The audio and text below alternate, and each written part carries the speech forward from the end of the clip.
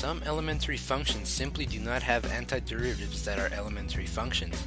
If you need to evaluate a definite integral involving a function whose antiderivative cannot be found, then while the fundamental theorem of calculus is still true, it cannot be easily applied. In this case, it is easier to resort to an approximation technique such as the trapezoidal rule. This figure shows how the rule is used.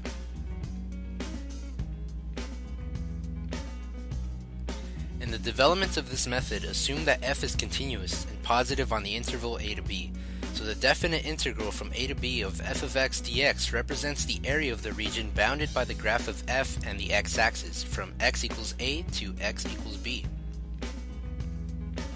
The interval a to b should be parted into n subintervals, each of which delta x is equal to b minus a over n, such that a is equal to x sub 0 less than x sub 1 less than x sub 2 less than so on and so forth, which is x sub n is equal to b. Then form a trapezoid for each sub-interval.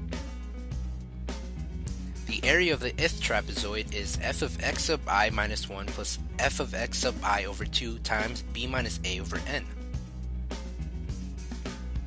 Here is a representation of the area of the first trapezoid.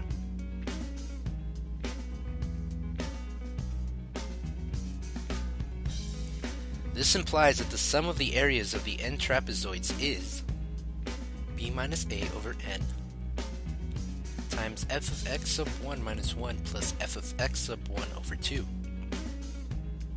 plus so on and so forth, which is equal to f of x sub n minus 1 plus f of x sub n over 2. Then we simply bring down the rest, giving us f of x sub 0 plus f of x sub 1 over 2. And it is f of x sub 0 because we have the f of x sub 1 minus 1 giving us 0. Then we simply bring the rest down. Then we are able to move the 2 out, giving us b minus a over 2n, which leaves us with f of x sub 0 plus f of x sub 1. Then, if we continue the formula, we get f of x sub 2 minus 1, which is uh, which is when reduced is f of x sub 1. But we must also we cannot forget the f of x sub n, which would be f of x sub 2.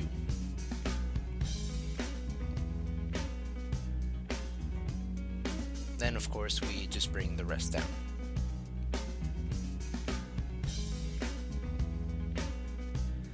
we are able to combine those two f of x sub 1's, giving us, once we bring everything down, 2f of x sub 1.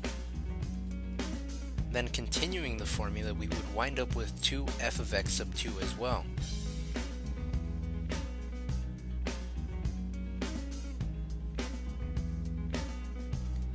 Then we bring down the rest without forgetting to put the 2 in front giving us 2 f of x sub n minus 1 plus f of x sub n.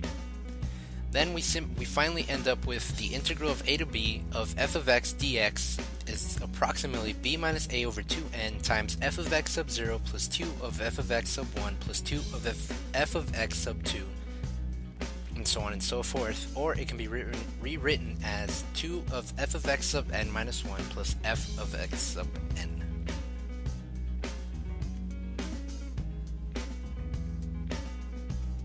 Now let us apply the rule to a problem to see it being used. Our problem is going to be the in, approximating the integral from 0 to 2 of 1 over the square root of 1 plus x cubed dx, which n is equal to 4.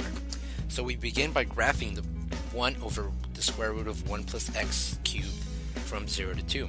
We wind up with this line segment. We're going to be we are, we are going to try to find the area underneath that line segment. So we must first find delta x, which is equal to b minus a over n. So we plug in b minus a over n, giving us 2 minus 0 over 4, which can be reduced to 2 over 4, which can then be reduced to 1 half.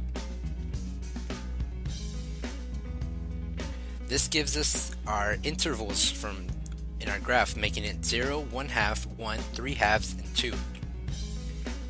Then we can begin our problem. So we begin with b minus a over 2n, which is 2 minus 0 over 2 times 4, times 1 over to the square root of 1 plus 0 cubed, which is our x sub 0. Then we plug in into our x sub 1, which is 2, and then 1 over the square root of 1 plus 1 half cubed, plus our x sub 2, plus our x sub 3,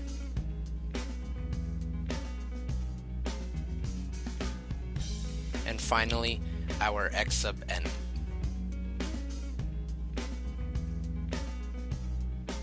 So once we do a little reducing, we end up with 1 fourth times our x sub 0, which is 1,